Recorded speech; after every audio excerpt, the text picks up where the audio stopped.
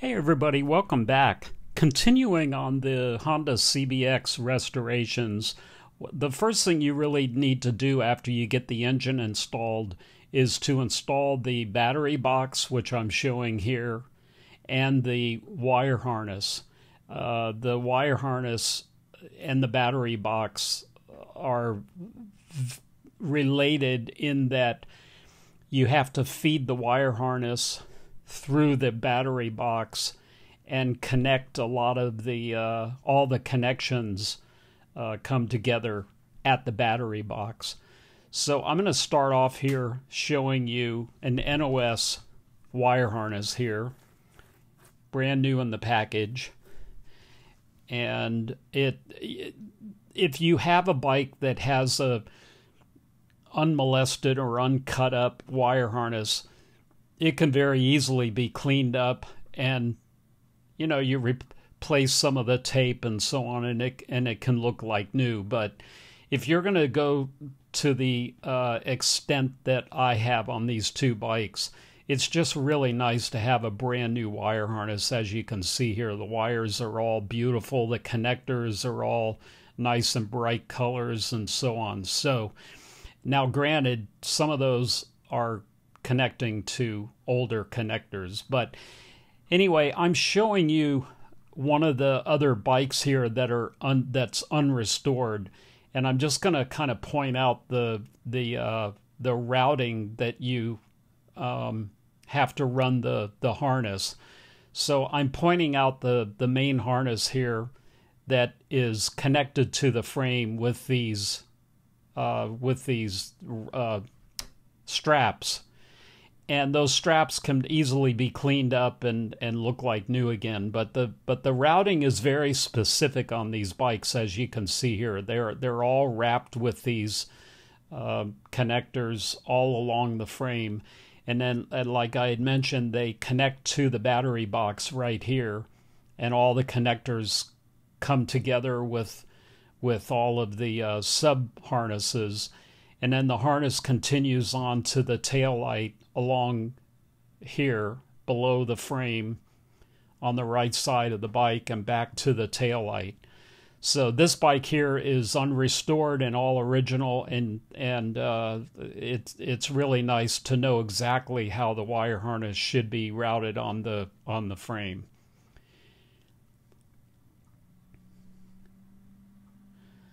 So continuing on, uh, it it's really best to start at the front of the bike and you take the back portion of the wire harness that connects to the tail light and you feed that through the through the triangular portion of the frame starting on the right hand side of the bike.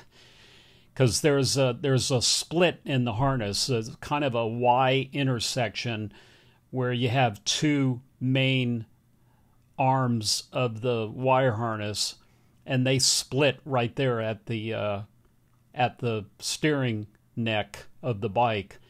So I always feed it in from the front towards the back.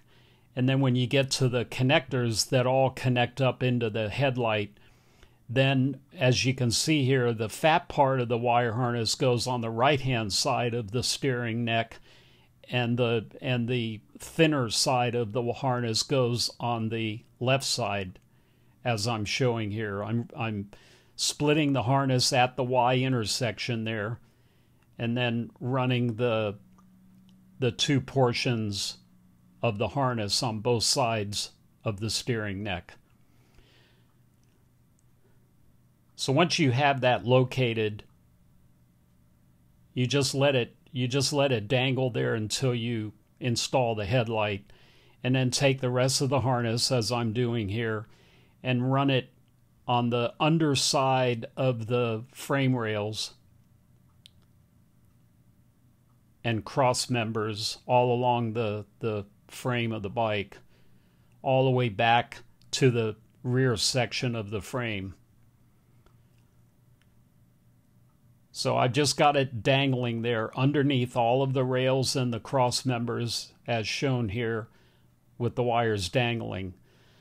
So to start from the front here, you'll see the wires dangling there and they're all ready to uh, connect up and connect all the rest of your items that have to go to the frame. And there's the Y intersection there. It just runs along underneath all the rails and cross members and then back here and I just kind of tie it until I install the tail light. Now all those color connectors they should be on the right hand side of the frame but they're but they're just dangling in place right now. So then once I get my straps cleaned up then I'll then I'll connect this main harness to the frame as I showed on the unrestored bike.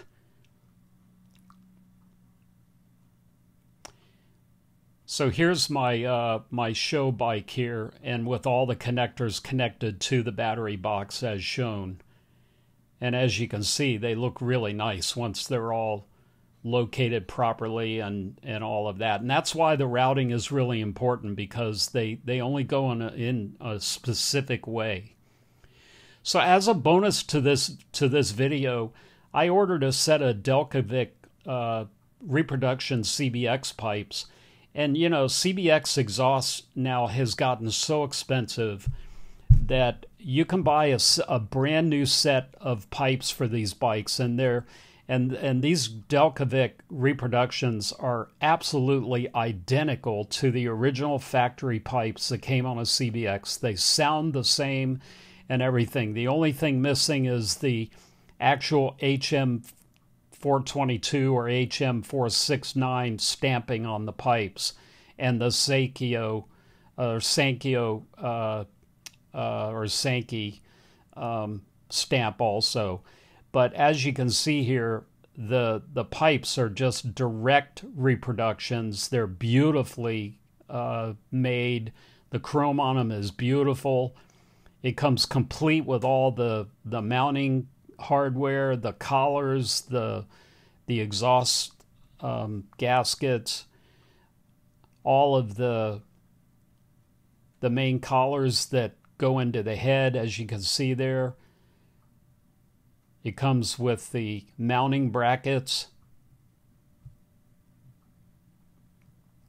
And it comes complete with all the heat shields and everything. This is an absolute complete full set of exhaust. And it runs anywhere from a thousand to fifteen hundred dollars depending on the sales that they have. And here's one of the collars that go up uh, that bolts up to the head. And as you can see they're beautiful. Just a really nice high quality set of pipes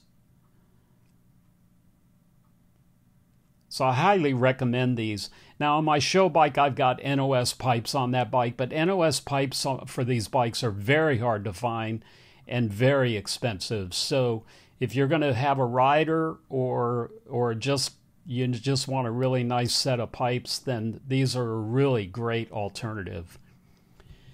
And on the next video, I'm gonna I'm gonna focus on installing the carburetors as I've got here. These have been uh, completely disassembled, replated, and reassembled and rebuilt and ready to go. So, so I'll be doing that on the next video. And that's going to pretty much do it for this particular video on the wire harness. Uh, I'll have more on that on the on the upcoming videos.